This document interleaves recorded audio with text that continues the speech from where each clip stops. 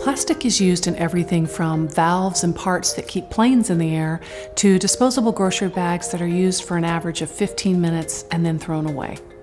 Plastic is durable, it's versatile, and it literally lasts for centuries. It's become so cheap that it's used to make things we don't intend to keep, along with countless uses in household goods and toys that will probably never go away. Plastics are made from a wide variety of chemicals combined in ways that have not been tested for safety until they're already in use and problems emerge. We can reuse, we can recycle, we can even refuse plastic by looking for alternatives. And the good news is that there are more and more options each year. Even so, the plastic problem seems overwhelming. From sea animals with plastic inside them to mountains of trash that isn't recycled. What can we really do about it? Well, start at home. Start where you can take some control. And your first focus should be on plastic that isn't just unsightly, it's unhealthy.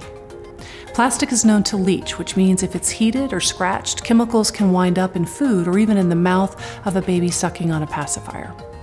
The mixtures of chemicals that make up a particular plastic may pose a variety of pretty scary risks.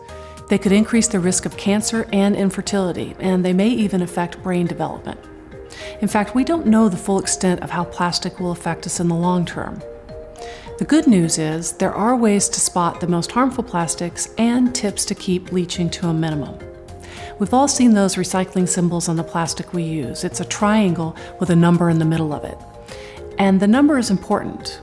Now, you don't need a chart with every plastic for reference. You just need to remember these three numbers 3, 6, and 7.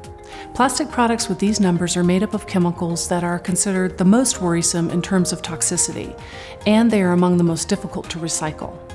To make things even easier, simply don't use any kind of plastic to pack lunches or to store leftovers for drinks, plates, and dinnerware. Choose glass, stainless steel, ceramic, or silicone instead. If the plastic in any item, including toys, is scratched or looks degraded, recycle it and off-gassing plastic is always a good idea. This means taking larger plastic items like toys and furniture out of the package and letting them sit outside so chemical fumes can float away before you use them. There are many other small steps you can take to reduce plastics in your home. Take reusable bags to the store, including bags for produce. Substitute reusable silicone covers for plastic wrap.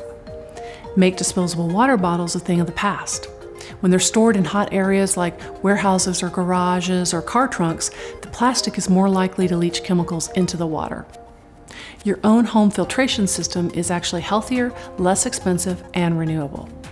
And I'm happy to say, in addition to the small steps people can take to reduce their use of plastic, large strides are being made through regulations and companies who have not just pledged to reduce their use of plastic, they're actually innovating in exciting ways to find alternatives.